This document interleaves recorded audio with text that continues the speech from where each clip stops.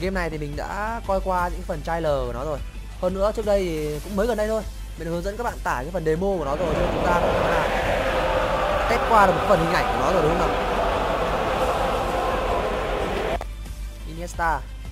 Chúng ta đã từng test qua cái phần hình ảnh với cái và cái bản à, PES 2018 demo hôm nọ mình giới thiệu các bạn rồi đó.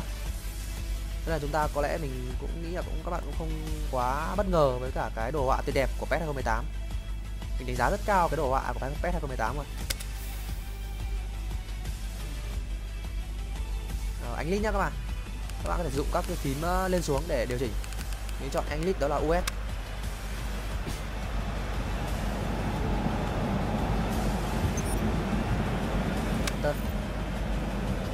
ừ.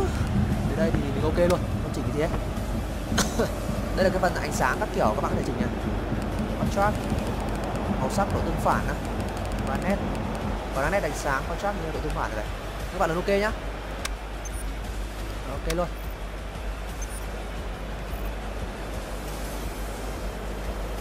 Bản demo chúng ta chỉ chơi, chỉ được chơi giao hữu thôi. Còn bản crack này chúng ta có thể chơi được mọi thứ, trừ online. Các bạn nhớ điều đó nhé hãy tận hưởng từ game này theo cái cách của các bạn. Gì à. Online operation. Connect đi.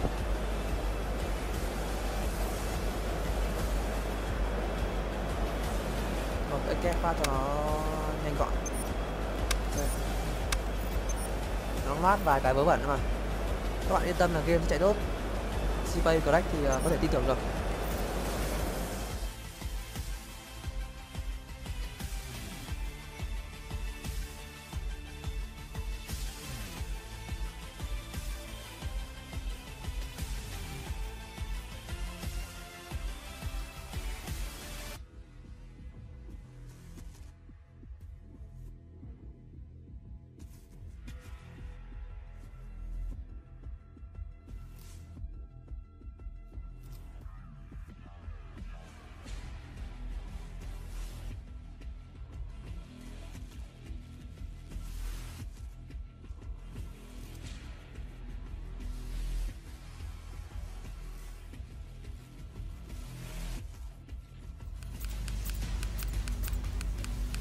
Các bạn thông cảm nhé mình phải tắt hết cái này đi không là nếu mà mình úp cái video lên kiểu gì cũng vướng bản quyền cực kỳ khó chịu luôn. Như tự game bóng đá này. Mình không hiểu sao họ đã cho phát cái game này à, cho các streamer rồi mà không hiểu sao họ đã còn đòi bản quyền âm nhạc nữa. Cho nên mình sẽ phải tắt đi các bạn thông cảm nhé bây giờ thì uh, nói chung là xong đấy. Nói chung là các bạn bây giờ có thể vào và trải nghiệm game theo cách của các bạn rồi. Mình thì thực sự là mình cũng khá khá là khá là khá là mù mờ về cái, cái loại game bóng đá này cho nên là mình sẽ vào thử cái play nhau nhé vào vừa cái đầu tiên.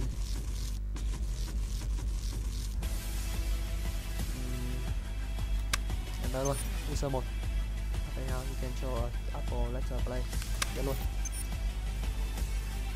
Testing network environment. Đấy, chết rồi. Kết nối với mạng à? sao lại vậy nhỉ?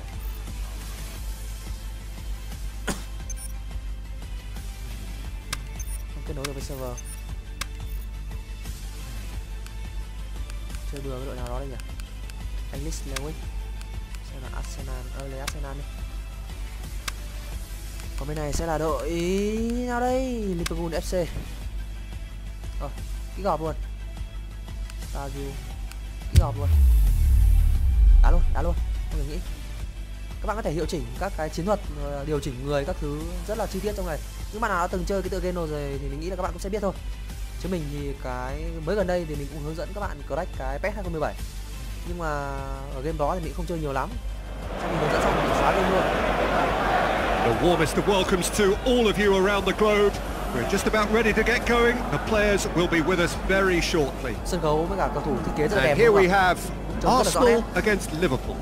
I'm Peter Drury and this is Jim Beglin. Hi Peter, always good to work with you. I'm really looking forward to this now. ứng năm nay nhận xét là đã đầu tư hơn rất là nhiều so với năm trước. Đặc biệt là là tương đẹp luôn game test trên PC đã sửa rất nhiều lỗi ở bản Arsenal line up in a 3-6-1 yeah and it's not a formation you see too much of as one of the six in midfield can also be used as a withdrawn striker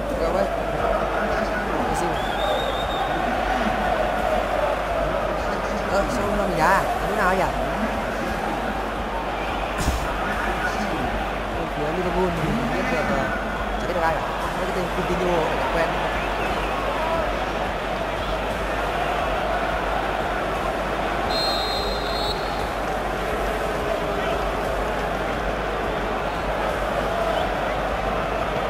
Thấy không? So off we go Ôi, then. Jim, you've played in games of this nature. Who can make the Đội mình là đội difference? Arsenal các bạn ạ Well, how can I ignore the Brazilian là đội áo trắng Felipe Coutinho, uh, who Ooh. delivers an awful lot for a little guy. Great imagination and guile about his work in midfield, and in attack, he can punch considerably above his weight. Hard to disagree with that. It is the sort of Yeah, yeah, situation he thrives in. Đấy, bắt đầu bắt bóng, bắt bóng, chơi rồi, chơi rồi. Looks to slip it through. Ôi, chết rồi, chết rồi. Lallana. It's Lallana! Ôi, từ đây sang qua. Great save, real class. Well, as And Tesco they- to the keeper. Đấy, mình cũng chỉ chơi đến đây cho các bạn coi qua cấu hình thôi Chứ nếu mình chơi nữa chắc sẽ làm chọc cười cho các bạn mất Và thậm chí các bạn sẽ mất đi cảm hứng chơi game mất thế nào?